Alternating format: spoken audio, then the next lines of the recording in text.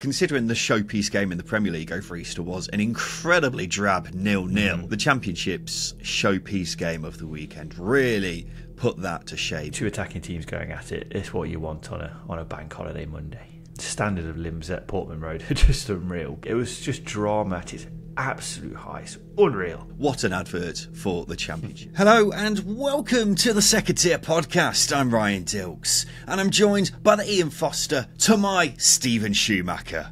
It's Justin Peach. Good day to you, Ryan. Oh, Justin, oh, Justin, Justin, Justin. It is a pleasure to be speaking to you today. Uh, I hope you had a wonderful Easter weekend. I have got a question for you to kick things off.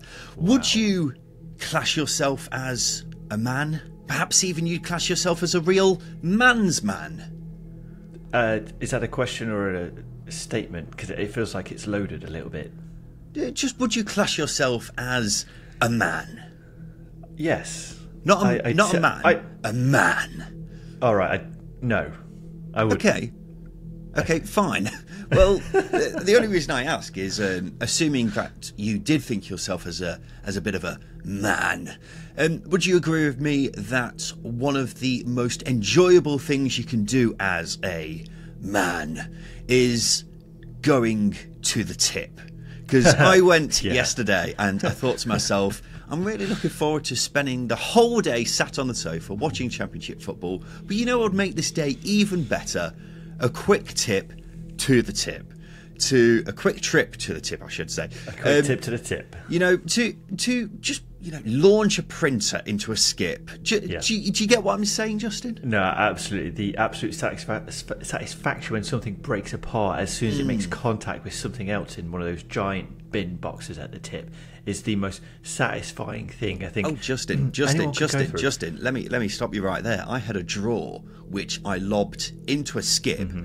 And it got impaled on an upright plank of wood. Honestly, it was one of the greatest thrills I'll have all year.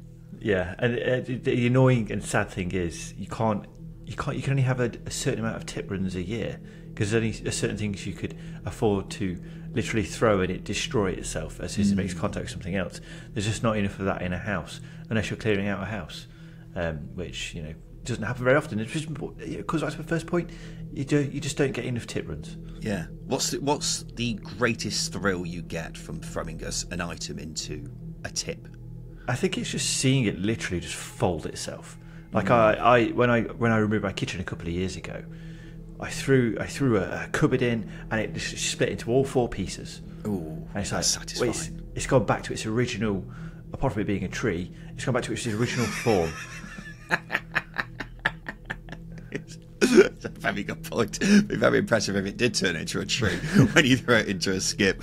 Welcome to the number one championship podcast of second tier. Thank you for joining us wherever you are. Yeah, I mean, what a weekend. What a weekend of Easter action we have just had. And Easter Monday was probably somehow topping Good Friday, you might say, because some of the action we got was marvellous. So we'll talk about all of the action from Easter Monday. Of course, three, all three of the top three won, which uh, keeps things interesting right at the top. We've also got the promotion race where all the teams chasing sixth lost. Um, so that was kept interesting as well. And then the relegation battle as well. And what's happened at Plymouth Argyle with Ian Foster finally being relieved of his duties there. So We'll talk about that in part two of the show, uh, but plenty for us to get our teeth into from Easter Monday here in the Championship. And we'll kick things off with probably the game of the Easter weekend. Ipswich Town remain top of the league. It's after a dramatic 3 2 win against Southampton. They were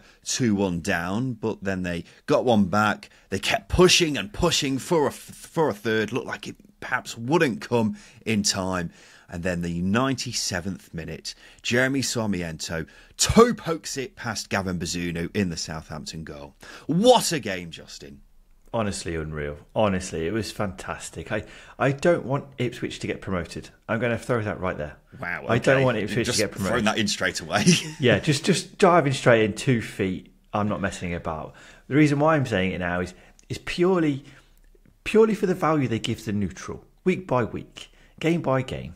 It's incredible. It's so unique to have a team who do this so often. It's not healthy, but it's so unique. So the, the whole reason why I don't want Ipswich to get promoted is because I want to keep seeing this. I don't want it to go away. It's just absolutely unreal, and I don't think you got. I don't think we've had a team as relentless as Ipswich are um, in terms of pushing for results because they just keep you on the edge of the seat for the entire ninety minutes plus ninety minutes plus. Um, I mean, Southampton did their very best as well in this game, but um, you know, two attacking teams going at it. it is what you want on a on a bank holiday Monday. Oh yeah, absolutely. I mean, I was gripped throughout this game. Put put it this way: considering the showpiece game in the Premier League over Easter was an incredibly drab nil-nil, mm. The Championship's showpiece game of the weekend really put that to shame. It was just thrilling, the back and forth of momentum throughout the game, loads of little subplots of players having these individual battles. It's got to be said, I'm not sure how Sam Morsy avoided a second yellow because he seemed to do his utmost best to try and get sent off in this one. And then the straight red for James Bree as well. I'm not totally sure it was a red, but that's by the by. The thing is, Southampton were much the better team for the majority of the game, and then Ipswich just turned the screw, and the limbs, oh, just in the limbs when Sarmiento scored, were simply marvellous, weren't they? Yeah, they were. They were. I mean, we've seen it so many times now already. The, the, the standard of limbs at Portman Road are just unreal. But that they, they were special. I also heard some of the local commentary from uh, from the BBC radio um, stations, and it was just pure passion, just oozing out. And you can imagine what the fans were feeling when Sarmiento's really unorthodox finish. Because the how did he get up so feet. quickly, Justin? Yeah, how did he get it, up so quickly? He was on the floor, and it looked like the chance had gone. Exactly, exactly. It's just the, the ball was literally under him, and he, you know, he gets up and he pokes it, and he, the, the the ball moves in so slowly. It was just drama at its absolute highest, unreal. Yeah, he managed to defy gravity in that very moment and get back on his feet. It was remarkable. But what a moment and big bag of cliches time. What an advert for the championship because it was such a good game. And it's another win for Ipswich Town, who remain top of the championship with six games remaining. The Ipswich are going up tractor it's now like the DeLorean at the end of Back to the Future 1, where it's just flying uh, and it, you know, it doesn't need wheels anymore at this stage, Justin. In all seriousness, though, when Ipswich are winning games like that, in that manner, does even someone like you, an Ipswich skeptic, start to think that Ipswich are almost destined for promotion? I, I think destiny's almost um, discrediting the work that Kieran McKenna does, but you are right. If you if you're going to believe the aura surrounding these these moments that they keep plugging away for themselves. Yeah, it's hard to disagree with the notion that Destiny's pushing them towards towards promotion. You score this many late winners so late in games, you show a certain amount of stubbornness, you show resilience, you show the middle finger to those who say you can't keep doing it. Like um, you. yeah, like like somebody else on this podcast. Um, and it's just, yeah, it, has got to be, it's got to be destiny. And I think, in addition, and it's really important. I think it shows the importance of the depth they've got in their team in terms of the quality. Sarmiento said he was disappointed not to start the game, but he knew he would get a chance coming off the bench, and and, and boy did he! That you know, that's a team. That is a team right there, and that is that is the thing that's putting him through. Not destiny. None of this hoodoo. Okay, it is depth. It is teamwork. It is grit. That is what's doing it for Ipswich.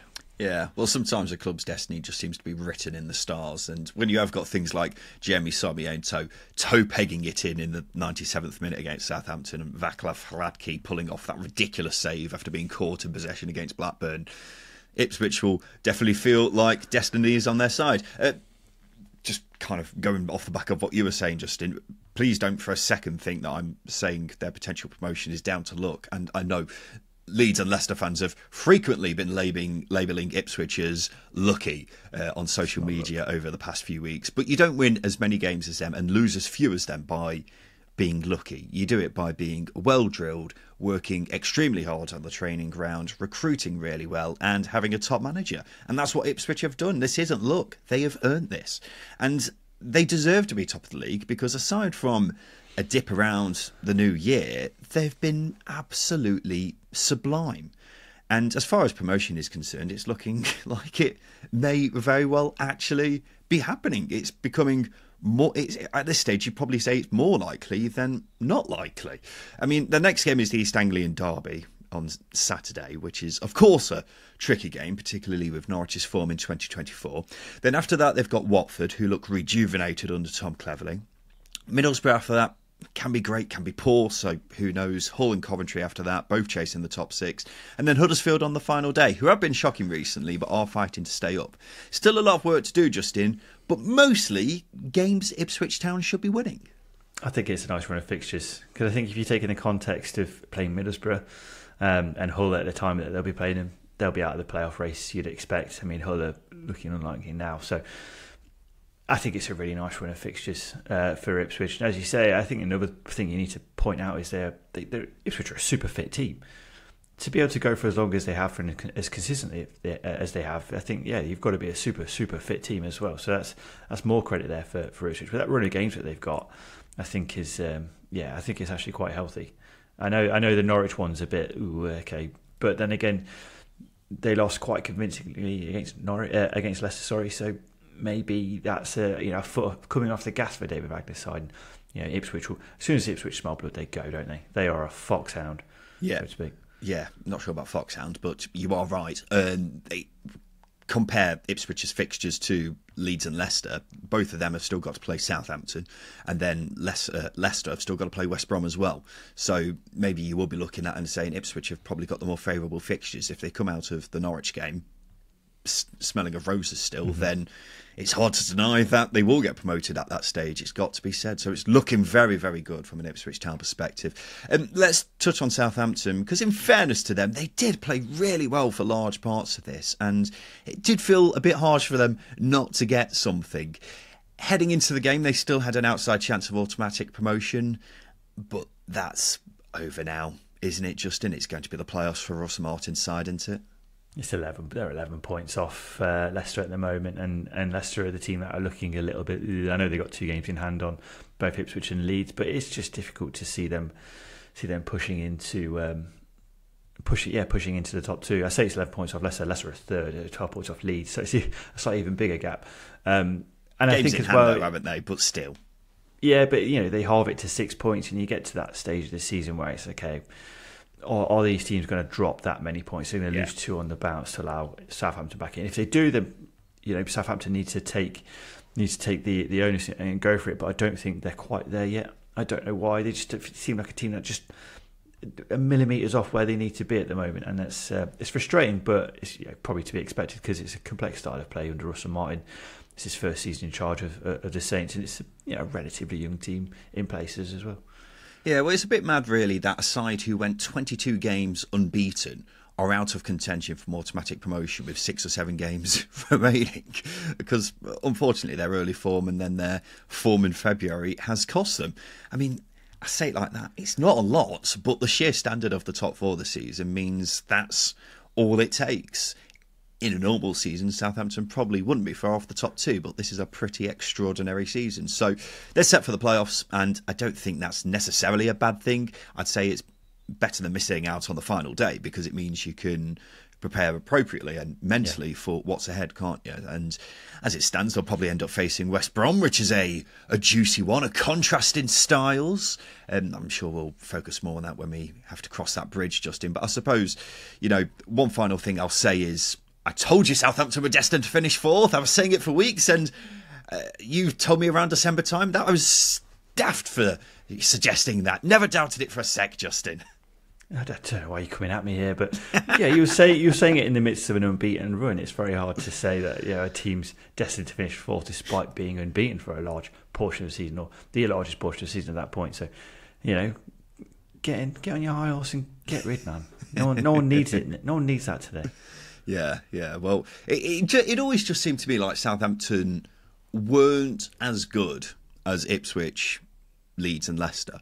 Um, and while at one point it did look like Southampton may be well in the midst of the automatic promotion race, you know, time has come to pass that they just weren't as good as Leeds, Leicester, and Southampton, uh, Ipswich. Sorry.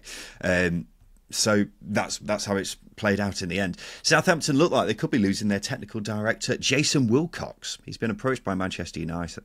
Manchester United. Southampton are said to be angry over the approach. all seems to be getting a bit messy with claims that Southampton may put him on gardening leave so that United have to pay compensation and what have you. So we'll leave that there until something actually happens, I suppose. But yeah, bit of a strange one, it's got to be said. Let's go on to Leeds. They scored twice late on to beat Hull 3 1. It sees them stay second. Quite a lot to take in from this game. We'll start with Leeds' performance because for the second game in a row, wasn't a brilliant one, was it? But they got the job done, Justin, eventually.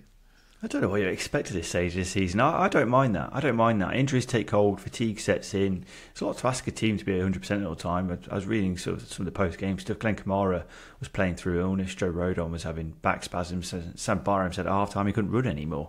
Uh, Daniel Farke's going to be buzzing with that. I think I'm buzzing with that because you win when so many things are up against you like that. I think it means a little bit more. And you win when you're not playing particularly well either again, it just means a little bit more and it means you're going in the right direction. And I'll keep saying it, I'll keep banging that drum. I think I said it in the previous episode. Good teams win poorly, and Leeds weren't at their vintage best, but they won, they got the job done, they're getting it done, and that's exactly what good championship winning teams do. When you have a bad day, they make sure they get take something home. We can't say that about Lee, uh, Leicester, sorry. We can't say that about Southampton, sometimes even Ipswich, although the outlier at the moment is saying they are doing that.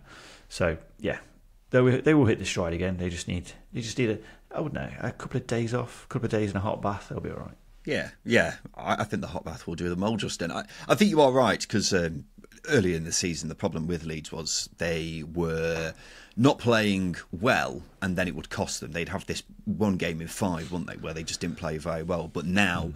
they are getting results, and I mean, Leeds have done that twice now over Easter, where they were subpar against Watford and subpar against Hull, and they managed to get four points out of it, which isn't to be sniffed at, really. I still think it is a bit of a worry that we have seen a dip because you got to remember before the international break, they were absolutely fantastic. And this is why I would like to take this moment to call out someone, and that's producer Finn, or as I like to call him, Finn the Coward, because you can't hear or see him right now, but just know that he's hearing every word of this. I said in the last episode that the alarm bells would be ringing if Leeds didn't play well here and didn't get a result, which I thought was a valid thing to say. If if Leeds didn't get a result against Hull, if they if they even lost, then the alarm bells would be ringing, or if they even drew, I think the alarm bells would be ringing. But Finn the coward, decided to cut it from the podcast. Luckily, it still made it into the YouTube video. However, I just wanted people to know that I'm being silenced by the mainstream media here. Anyway, I'll get off my high horse now. The point I'm making is that Leeds will be breathing a huge sigh of relief that Regan Slater decided to commit that daft challenge late on on Crysencio Summerville. Otherwise, I genuinely think the alarm bells would have been massively ringing here, Justin. I, I disagree. I, I, don't. I don't think. Well, if Leeds if Leeds played poorly for two games in a row and drew two games in a row, but they haven't. You don't think they are? Well, they nearly did. But they, they, they haven't. I think that's the thing. They haven't. Well, I know uh, they haven't, but they were fortunate, weren't they? I wouldn't say they were, they were, they were fortunate. You are right. Hang on a second. Yeah, hang, no, on, no, hang, no, on, hang on, no, no, no, hang on. Let me finish. So against Watford, they got a, a late equaliser after Jamal Lewis kicked it onto Mateo Joseph, and then against Hull, they got a last minute penalty to win the game after Regan Slater committed a really daft challenge late on. You know, that is a bit of fortune on their behalf, isn't it? Or is it destiny? It might yeah. be destiny, but it is also fortunate at the same time, isn't it? But but it might be destiny. If it's if it's destiny of Ipswich, it's destiny of Leeds as well. I feel I think it feels more destiny with Ipswich than it does Leeds. But do you not think if we were sat here right now where it was a draw, that no, the alarm bells would be ringing? But but it wouldn't. Okay, yeah. If they if they didn't if they didn't pick up the three points, yes, it'd be a very stressful time for, for Leeds because they they dropped two points. They're now a few a few more points off of Ipswich, but it hasn't happened, so it's not really too much to, to write home about. I think the biggest alarm bell is the fact that they are getting a couple of injuries. Um, you know, I think that's the biggest alarm bell for Leeds is if they start to lose players uh, at this stage of the season. They can't. They need to. They need to inject them with whatever they inject them with before games to get them through them, get them in a hot bath after the game, and uh, let's yeah get through it essentially because there's only a few weeks left this season. What did you make of Crysencio Summerville taking the penalty off Joel Piroe just in? Uh, I can say one thing: he's got some bloody bollocks on him, hasn't he? He has, but I, I didn't really make much of it. I thought I thought he was absolutely right to take it. Summerville was in form. He's taken penalties. He scored twice this season. Piroe's not scored in ten games. I think he. I think I'd have taken the ball off of Joel Piroe at that point. It's like Joel, Really? you've, Joel, you've not you've not scored in ten games, mate. I've scored a couple. I, I'm I'm I'm I'm a happy man. Let me take it. It's a big penalty.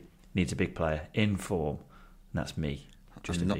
I'm not sure I would have had the same confidence as you, Justin, because when I, when I was watching this unfold, I suddenly started watching through my fingers because I thought to myself, I've seen this film before. I mean, how many times have we seen it happen over the years where two players have argued over who's taking a penalty for it to then be followed up by the most poorly struck penalty you've ever seen? It- But it was but it was a beautiful penalty because he stroked it down the middle. The balls on Summerville to do that, but also the knowledge because always go down the middle late in the game. Always go down the middle of the penalty late in the game. Summerville did that. I don't think Joel Piroe would have done that. Yeah, he managed to withstand the pressure, which is impressive because doing something like that, taking the ball off someone else for a penalty, just piles the pressure on the taker. And for it to happen that late in such a pivotal game as well, I mean, oh, dear me, I would have loved to have known what Daniel Farke was thinking at the time. But yeah, you're right. Fair play to Summerville. I, I enjoyed how he didn't even say to Piroe, I'm taking this. He just walked up and picked up the ball. that made me laugh. Um, yeah, could just not find fewer fucks given. Just great stuff from him. Um, should also give a mention to Dan James, scoring from the halfway line. 96th minute, Ryan Allsop gone up for a Hull corner. I know it was an open goal, Justin, but he still had so much to do, and I think it was a really well taken goal. I think it was. It, they are well hit shots when you've got to do it. You're moving at pace, and, and Dan James really moves at pace. Um, obviously, it's not as spectacular because he's not chipped the goalkeeper, but that angle, he's on the he's at the byline. It's yeah, it's incredibly hard to pull off. As I say, you're running at pace, the ball's bouncing, you're a long way out. You're under pressure from a, a couple of Hull players as well. Yeah, it's, it's a difficult one. There's a really good fan angle of it actually at Leeds that posted on Twitter.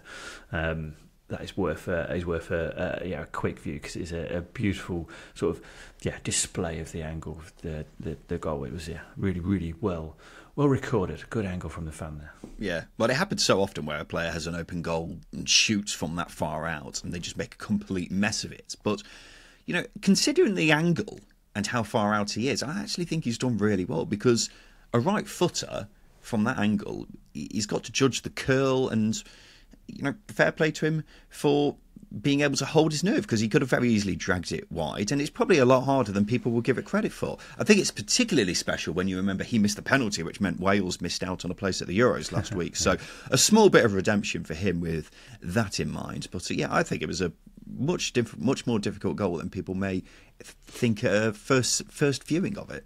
Uh, so Leeds stay second, one point behind Ipswich, a point ahead of Leicester, who do have a game in hand. A quick word on Hull, Justin, who are now winless in six.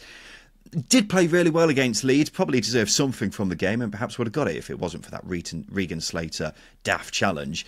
Their playoff chances weren't too affected by the loss, though, by virtue of the fact that all four teams chasing sixth place lost. Looking at their remaining games, they've got a decent set of fixtures, haven't they? Um, they've now played their most difficult game from their from the remaining fixtures from the international perspective point of view. They've got Cardiff, Middlesbrough, QPR, Watford, Coventry, Ipswich. That's obviously a difficult game, maybe as well. Um, is at home though, uh, and then Plymouth. So decent set of fixtures to go in there. Yeah, there is, but they've they've they've dropped points against teams that they should be beating, like Birmingham. Uh, they've lost to Stoke, obviously, as well. Uh, and uh, Preston was a I wouldn't say a winnable game, but a game they needed to, to come away with three points in. There's just a lot there about, Hull that's not convincing me at the moment. I think they're they're a good possession side, but there's not enough. There's not enough punch. There's not enough. You know, what's the word I'm looking for? There's not enough metal there to to, to really turn these games around. Um, and you know, although although they were deserving of at least maybe something from Elland Road. I, I, thought Leeds were probably more deserving of the three points, to be honest with you, because I don't think Hull offered a hell of a lot um, with it within the game, to be honest. So, yeah, there's there's just something missing, which shouldn't be the case because they had such a good January. They got so much attacking talent. It just feels like a missed opportunity this season for Hull, and I can't see myself being convinced over them, um, convinced by them over the likes of Norwich and, and Coventry at the moment. Yeah, I think that's fair. Um, I mean, when you asked the question a couple of months ago, or even just a month ago, who would be the team getting to sixth place. I imagine a lot of neutrals would have said Hull based off the January business they did, which was very impressive. But you are right, they've dropped some daft points recently. You can now add Leeds to that collection as well. Um, and it just seems like they are missing something, which is unfortunate. Maybe it is a striker. I know a lot of Hull fans have been uh, conversing recently about who should be starting up front for them, but yeah, it's. Uh, they, they haven't maybe taken the step forward in recent weeks that uh, people may have been expecting, which is a shame. But they're still in the race for the top six. It just seems like they're uh, not. They haven't got as much momentum as the likes of Coventry and Norwich, have they? Uh, Leicester got only their second win in seven league games by beating Norwich three one. Whew, and breathe. Got to be said, Leicester looked so nervy in that first 20 minutes, but when Norwich scored, I, I thought, oh no, it's happening again. And then from that point onwards, Leicester were a much better team. It was almost like the goal made them go, right, let's stop dicking around now. We need to actually put a foot down and get promoted. And from that point on, they controlled the game. It was attack after attack, and eventually the result came. And boy, did they need it, Justin. You could see the relief when that Vardy shot went in. Actually, I mean, even even Maresca displaying so much as much joy as he did um, with, with the goals. I haven't seen maybe that all season. Uh, and it's, it's so so important. As you say, they, they really did need that. I was speaking to a few Leicester fans before the game actually, and they were they were nervous not only about the game but the outcome of the season. Obviously, with the weight of everything going on behind the scenes, it's such a contrast. So, so that win against a really good side with a lot of attacking quality as well, that weight really does get lifted. Because I say you beat you beat good teams, it gives you it gives you confidence. And, and Norwich are one of the better attacking teams, and they possess some of the better attacking players in the division. And Leicester largely nullified them and I think that's a big thing as well. They they, they controlled the game. They actually controlled the game, and um, they allowed their quality to speak for itself. Still, maybe a lot to do to, to, to generate some momentum, but this is a start, a needed, much needed start. Yeah, much needed. You could hear the sigh of relief in Norwich, Justin. Uh, Leicester were brilliant. It was like watching the Leicester we've seen more often than not this season. Kiernan Dewsbury Hall ran the game. It was his best performance in quite a while. And ditto Stephy Mavididi. Ricardo Pereira started for the first game after first time after getting injured, and I think this showed how much of a miss he's been during this slump in form for Leicester. It was just a great showing, and Leicester looked back to their best. Whether that's a corner turned, only time will tell. But we needed this, didn't we, Justin, to keep the automatic promotion race interesting because otherwise I was a bit fearful it may just be Ipswich and Leeds. So thankfully, Leicester seem to have got back on track somewhat. Uh, only time will tell, though, as I say, whether they are, you know, the real deal when it comes to automatic promotion. Uh, Norwich were a bit flat here, weren't they? One of the poorest performances we've seen from them in a long time. I, I suppose you have got to keep in mind they were playing Leicester, who have been out of form, but are still very strong. As far as uh, as far as Norwich's top six hopes are concerned, they weren't affected at all. As mentioned, all the teams chasing sixth place lost. So really, I suppose it was a bit of a decent Easter Monday from a Norwich perspective. It does add a bit of extra spice to next Saturday's East Anglian derby, though. Not only would a win strengthen their playoff bid, but they'd also greatly harm Ipswich's promotion chances. And uh, the thing is, I'm genuinely not sure what what Norwich fans would prefer: playoffs yeah. or Ipswich not getting promotion. is quite a tough one to call without being a Norwich fan, Justin. I think yeah, maybe maybe they would prefer the playoffs because Ipswich will still get you know they'll still I'm have a chance sure, of Justin. getting promoted. I'm not yeah, sure. Was, yeah, but Ipswich will still have a chance of getting promoted if they even if they drop out of the top two. So I, I think Norwich fans will want to get into the playoffs and and hope hope to God that Norwich drop out of the top two race, and then Ipswich, uh, and then Norwich do them in the playoffs. That'll be that'll be a thing. But if Norwich get three points against them, that will strengthen their playoff position and damage Ipswich's championship title push, which will be which will be a, yeah, a really really nice feeling, I imagine, for for Canaries fans. Yeah, could only be the second of four East Anglian derbies if uh, Norwich's ideal season pans out, really, couldn't it? Because um, you're right, there's a, there's a decent chance we will have Ipswich v Norwich in the playoffs still. Um, but with regards to which would they prefer, I, I think some Norwich fans genuinely would prefer Ipswich miss out on promotion as opposed to uh, their own chances. I'll make my point here. I want Norwich to win Okay. Sake, okay. Right. This isn't Ipswich skepticism, but I want Norwich to win because I want it. I don't want Ipswich to get promoted because I want more of this drama they provide for, from a viewing perspective, um, and, and, as well as that, it, it, means that we potentially get an old farm derby in the playoffs as well. I, this is what everybody wants. Everybody wants this. It's, it's no I'm not, I'm not sure that's what I want. I, I I would like to see Ipswich get it over the line after the season they've had, but You're a fool. You're a fool. Purely for the content, Ipswich are fantastic. Mm, maybe. Um, but I, I, th- I think just because obviously the playoffs is such a lottery, um, some Norwich fans will be looking at that and going, I'd rather just Ipswich not getting promoted because they just know. People don't really realise how you know intertwined Norfolk and Suffolk are with the derby. So it, Norwich fans would not be hearing the end of it if Ipswich were to get promoted. So if they uh, had the choice, I think a lot of Norwich fans would be choosing Ipswich not get promoted as opposed to them getting the playoffs, which is self sabotage. But I genuinely think that's what a lot of people would choose. Uh, Justin, let's take a quick break. After that, we'll talk about Plymouth sacking Ian Foster and some of the other games in the relegation battle.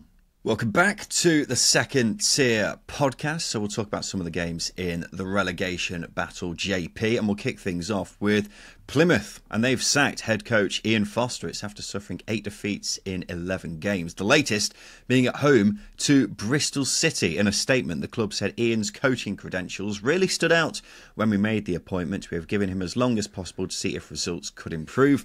Unfortunately, this hasn't been the case. We feel now is the right time to make a change to give us the best chance of securing survival. Director of Football Neil Dewsnip will take charge for the rest of the season. Um, Justin Foster sacking, it's not a surprise this has happened. The surprise is that it didn't happen sooner. Yeah, it should have happened sooner. When we discussed his future in the international break, I think we were we were both right in saying that uh, club made a mistake. Now's the time to do it, but they seem a bit of a nice club. They give him a two game stay of execution, and boom, he's, he's gone. It's it's quite it's quite impressive, really. But but yeah, yeah, to, to to not beat around the bush, Plymouth have become a terrible team, a really really terrible team, which is staggering because they're not. They're a good side. They showed that for almost two thirds of the season, and then Foster came in and and it, and it went tits. It went completely tits, and it's just it's just staggering, really, the, the drop off. And for me, it would have been really really difficult to make this team not very good at attacking, but Foster achieved that, and it's quite staggering. Um, it was a poor appointment. They needed a leader, they needed a, a big character with a clear footballing philosophy, and, and Foster offered none of that. I'm just looking at the stats from the game now. Two shots on target at home, it's just, it's just not good enough. It's a complete contrast and a drop off from this side that was young and exciting and unpredictable, and they're predictable, boring, and just bland. Yeah, well, they were also a pretty comfortable mid-table side when Ian Foster came in, and didn't look like they had any chance of getting relegated. But unfortunately, it's gone pretty much as badly as it possibly could. Um, and that's why they are now one of the teams staring firmly down the barrel of relegation. I mean, when you've got your own fans chanting for the manager to be sacked, that should be a hint that now's the time to sack the manager. They should have done it during the international break, and I'm not really sure why they didn't, because they've cost themselves two games where they could have very easily got some precious, precious points in terms of staying up, and they've really shot themselves in the foot with that one. I mean, Plymouth are a very well well run club, and this whole saga doesn't really change my mind on that. I still think they are a very well run club, but they haven't handled this situation very well. And you talk about you know what Ian Foster's done to this Plymouth team, Justin. They were the top scorers at home this season in the whole entire league. They've now failed to score in five home games, which is the first time that's happened in club history as far as uh, uh, as I'm told. Um, and that goes. I think that's a pretty good summary of what Ian Foster has done to this team. He's taken what was a really really good opportunity for any manager to be in charge of a progressive club with excellent recruitment and taken them very firmly backwards. And they weren't going backwards before. They had really good momentum going in the right direction. And that's not happened at all under Ian Foster and you'll find you, you'll do very well to find anyone who can defend um, him and said that he deserves a bit longer because it's just not gone well at all. Um, well, they've given it to Neil Dewsnip until the end of the season. He is the director of football, as I say. I'm not sure giving the job to the guy who appointed Ian Foster is the best move. Justin, what do you think? Yeah, it's it's a bit um, it's a bit risky. Look, I think Ian Foster's got very good coaching credentials, but I think bringing in someone who's inexperienced, who doesn't have you know a lot of club experience that, um, especially at championship level, I think is uh, I think it's you know you're stepping on a few problems there. You know, at the same time, though, what you know, what what market were Plymouth batting in? Can they afford to go for a, for a different type of manager, or do they need to, to go for someone like Ian Foster, who may have been a little bit of more of a, a cheaper option? I don't know. So yeah, I, I, it is it is um, it is an interesting one that they they have gone for the man who appointed um, uh, Ian Foster, but at the same time, we we've said it about uh, Jon Worthington at Huddersfield. Sometimes it just helps. It's cliched, but sometimes it just helps that they know the club, they know the players. So maybe on this occasion, it might work out for him. Well, Dewsnip was in caretaker charge for four games after Steven Schumacher left earlier in the season. He drew three and lost to Southampton. Um, so I don't know. It's, um, I mean, when I saw the sacking happen, I was certain they pressed the button, Justin. I don't even need to no. mention which button um, I'm referring to there. This does seem a bit risky. It's got to be said. Dewsnip, he does have a lot of experience with managing the England youth teams. But this is a big job. This is the biggest job that he's going to have in probably his whole coaching career, getting Plymouth to the safety line with six games remaining. Because right now it's looking very much like it may very well be two of them, Huddersfield and Sheffield Wednesday. We'll talk a bit more mm-hmm. about that later in the show, Justin. But yeah, this is. Um, I, am not sure whether I, I would have thought this was the good idea. I think a, a firefighter, even though it is a club like Plymouth who are you know, so well run and such a progressive club, I, I, think they may have to just take one on the chin here and just get a firefighter in. But um, yeah, we'll see how Dewsnip does, shall we? They have got Rotherham away on Friday, which is, I mean, that is such a huge game, isn't it? They have got to get three points there, otherwise, yeah, it won't be looking very good from a Plymouth Argyle perspective. Probably the most eye-catching result of Easter Monday: Sunderland 1, Blackburn five. Um, it's Blackburn's first win under John Eustace, and what a way to get it, Justin.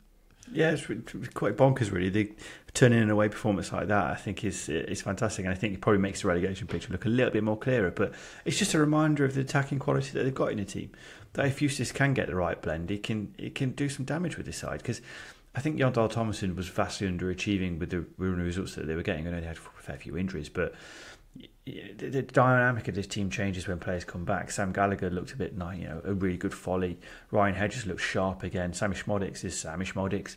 And uh, again, it's a reminder of Tyrhys Dolan's on form. He's he's probably one of the most you know, gifted technicians in the division. You know, the way his close control, his, his technique, his, his ability to you know, get out of tight spaces, I think is fantastic. But we don't see it often enough. It was a really good all-round attacking display and it was devastating at the, the very most. And to do it at the Stadium of Light as well, I just think is, is incredible. Well, we said after the Ipswich game on Good Friday that if Blackburn play like that for the rest of the season, they'll stay up.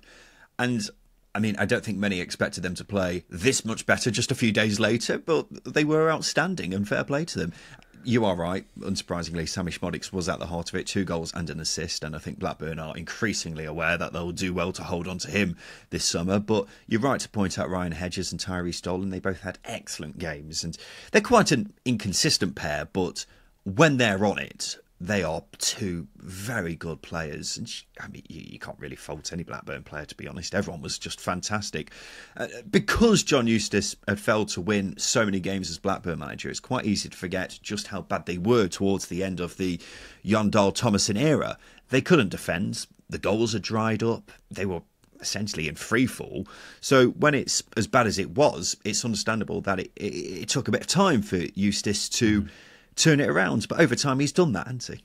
Yeah, he has, and that's the thing. He's, he's, he's rectified the problems. I think they've always had that attacking nous.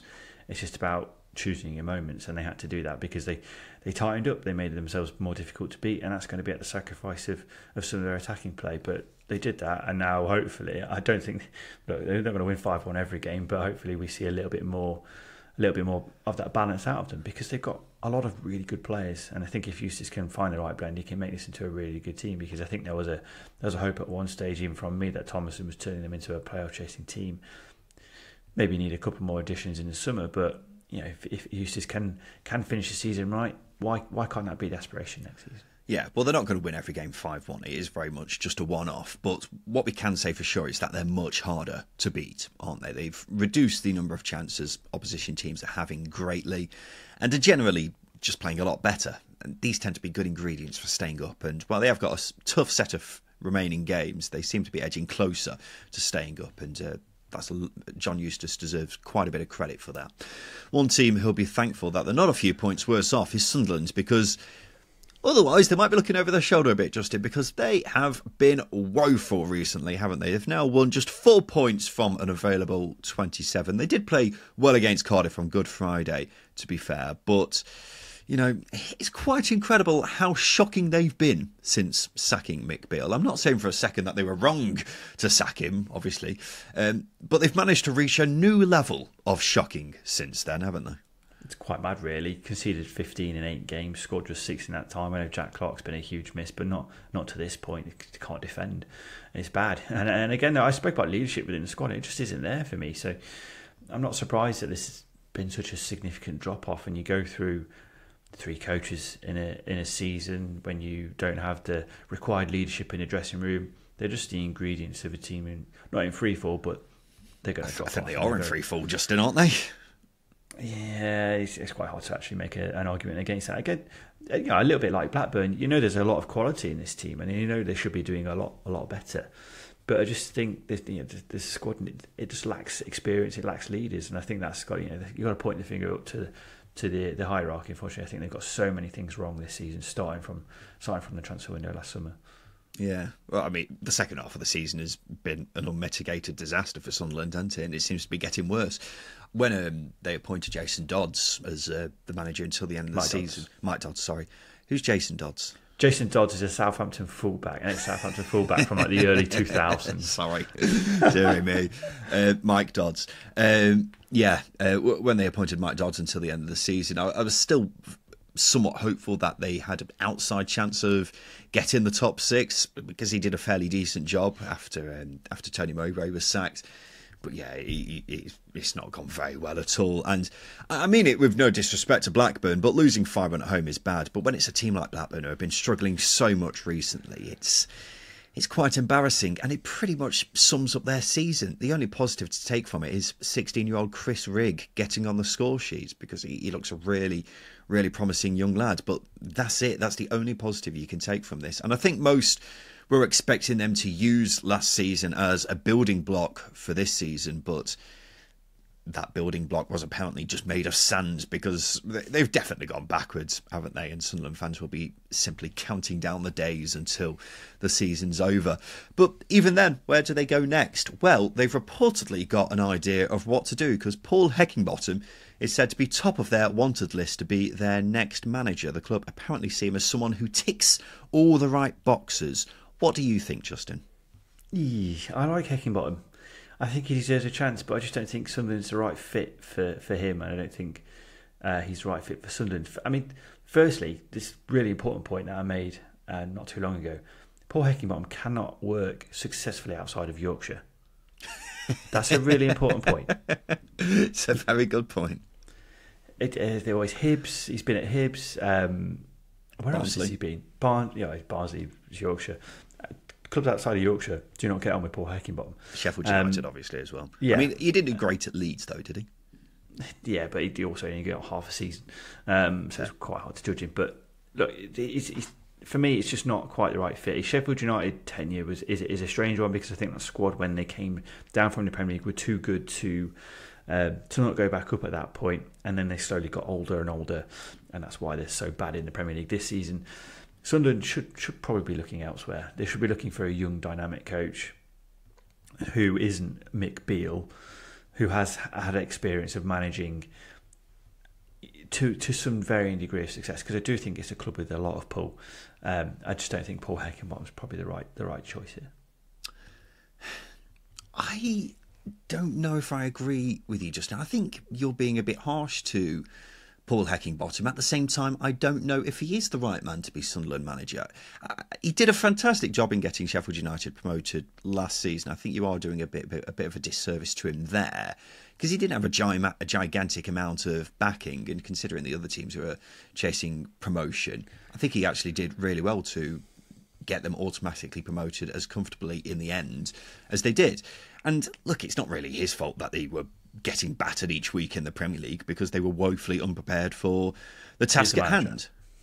Well, he is the manager, but that squad, I, I don't think fucking Pep Guardiola could have kept Sheffield United from being bottom of the division.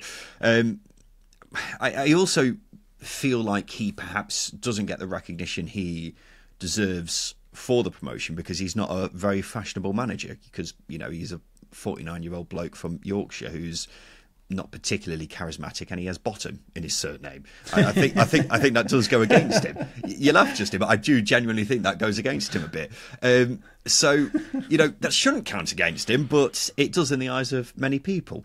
And having said all that, and perhaps I'm contradicting myself a bit here, I'm just not sure he is the answer for Sunderland. I, I, I don't, I can't really give a definitive reason why. I just think maybe I was hoping for someone. name. It's because his name. That's It's what it is. He's got bottom in his surname. No, I, th- I think it, I think I was just hoping for someone something a bit more ambitious, Justin. Yeah, I think that's it. A, a little bit more ambitious because Mick Beale wasn't ambitious and Paul Heckingbottom isn't ambitious either. Um, if they're going for, let's say, a Will Still or you know, Yeah, some, I, I some think the Will Still thing, the Will Still thing is really, you know, it's skewed everything. It, it it? has, and it's really Yeah. skewed our expectations of who Sunderland should get in next. So, whoever they get in is going to be up against the fact that they're not Will Still. Yeah, no, you you are right. You are right. You are we are comparing far too often. But even even reading up on some of the managers they were linked with um, from Scandinavia, Kim Hellberg I think was was one, and his football philosophy seemed to marry up. I'm not going to go into detail on it now, but just reading about him, the coach's voice and, uh, and Opta, I, you know, I really like the look of him. I don't really get that from Paul Heckingbottom. You know, I don't get that. Oh yeah. Sort of thing, you know, you, that you know when you see what you want on the menu, you go, "Oh yeah, go on then." That's what that's what you want when you see a manager link with Paul Heckingbottom, I get a ah, okay, all right.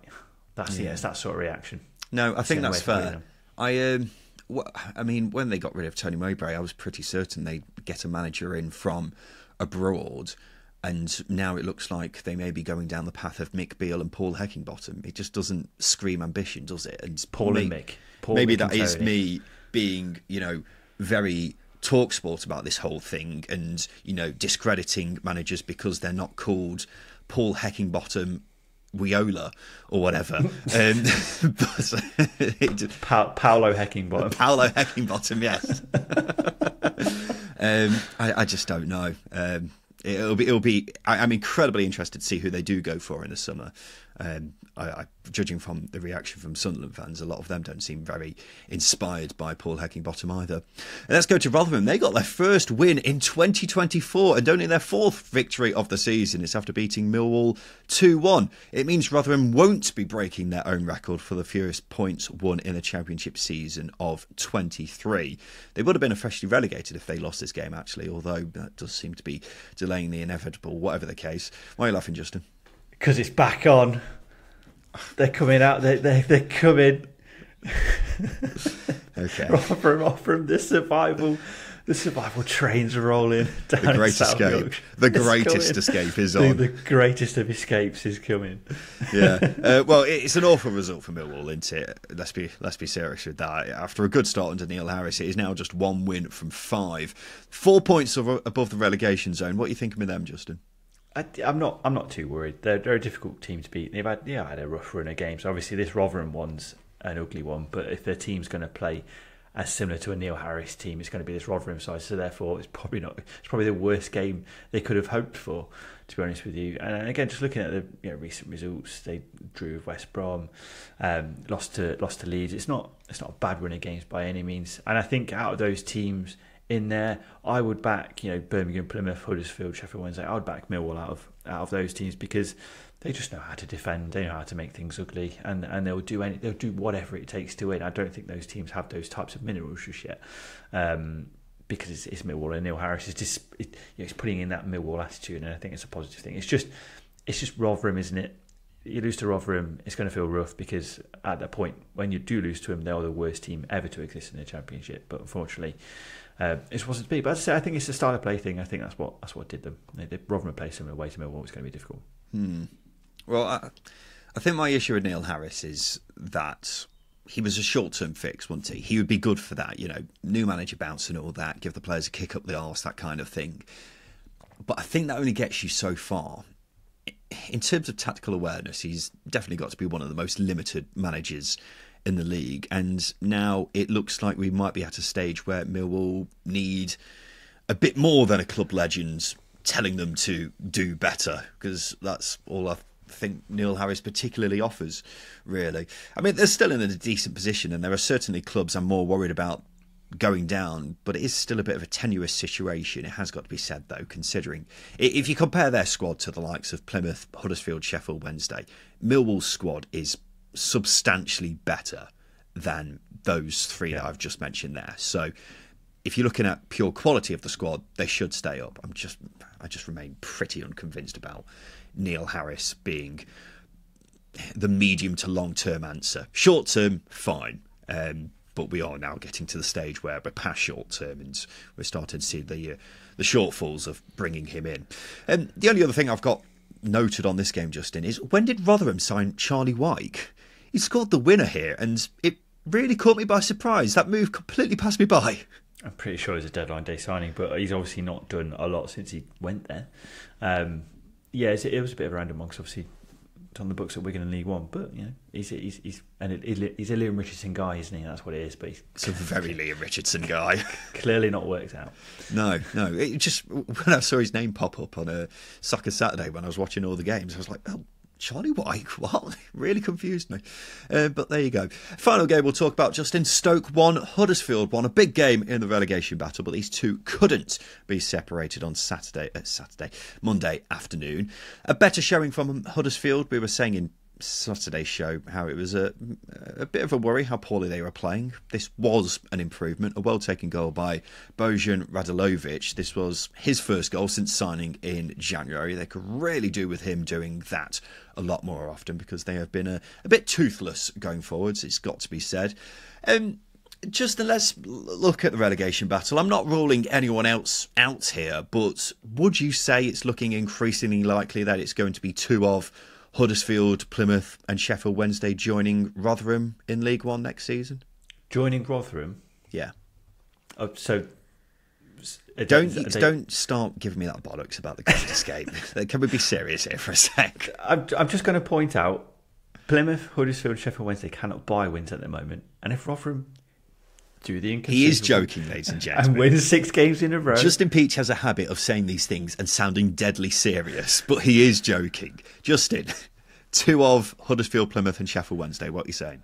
Okay, providing that we're counting Rotherham out, I think it's foolish, but providing we are, um, I, I, it's, uh, I think it's. I, am going to go with Sheffield Wednesday. Uh, I mean, Danny Röhl was seething after the game.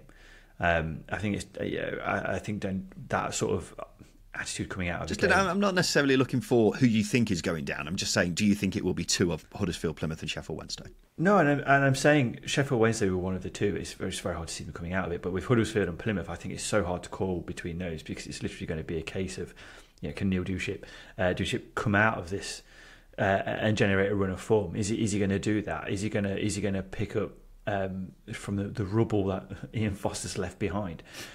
Can can Andre Breitenreiter actually get his Huddersfield team clicking? Because obviously the goal that Bojan Radulovic scored was fantastic, but they didn't see the game out, and that's been a case quite often this season where they cannot see games out. Cost Darren Moore his job. You know that's a that's a thing with Huddersfield this season. It's not just a, a new manager thing or an old manager thing. It's clearly a, it's clearly just a thing for them this season. They cannot manage the games very well. I, I, I think it's so hard to call. If I was to make if I was to make a split judgment as to who's more likely, I would argue Huddersfield over Plymouth, but at the same time, Plymouth can't score goals. Eh, that's a bad thing in football. I think it's so hard to call. So you're saying two of those three? Yeah, it's it's whoever's going to be bluntest. Who's got the bluntest instrument here? Is it Huddersfield? Is it Plymouth?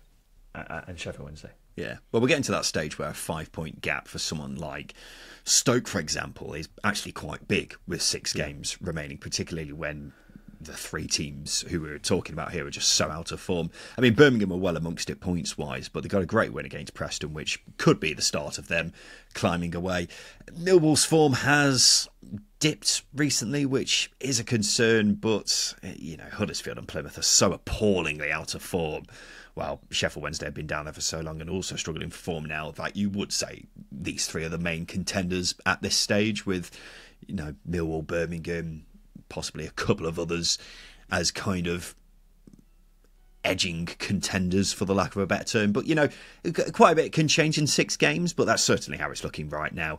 I mean, it would have been absolutely hilarious if Plymouth got Neil Warnock in and he relegated Huddersfield. I've got to say that for sure, but that doesn't look like it's going to happen now. But yeah, it's a, it's going to be a tight one, this relegation battle. I think it's going to go right down to the wire. But now we are getting to the period where the six games remaining, we are starting, I think, to see teams being kind of eliminated from the equation. And while there are, you know, plenty of teams who still haven't been completely ruled out, um, we are getting to that period where uh, you know it is starting to thin out this relegation battle, and it it will take Huddersfield and Plymouth having quite a big pickup by their current standards to uh, actually make things more interesting than uh, it looks like it may be getting to. Uh, but there we go, ladies and gentlemen. That's been the second tier podcast talking about the Easter Monday games in the Championship. And we'll next be back for the preview show on Friday, where we'll be looking ahead to all the games coming up this coming weekend. And I tell you what, it is getting mouth-watering, isn't it, here in the Championship? Of course, we'll talk about the East Anglian Derby next Friday, and we bloody look forward to seeing you then for it. But hey, have a great few days until then. And this has been the Second Podcast. I have been Ryan Dilks. I have been Justin Peach. he got so emotional ending the episode there, ladies and gentlemen. And a big thank you for listening.